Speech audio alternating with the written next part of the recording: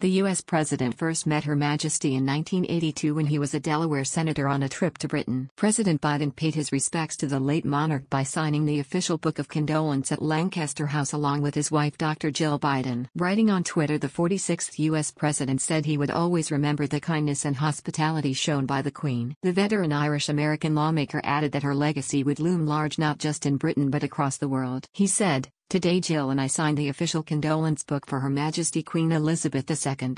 We first met the Queen in 1982, and will always remember her kindness and hospitality.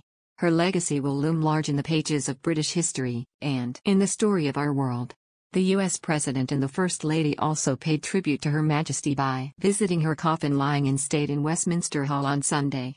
In separate comments on Sunday, Mr. Biden said the Queen was exactly the same in private as her public image. He said, the same in person as her image, decent, honorable, and all about service.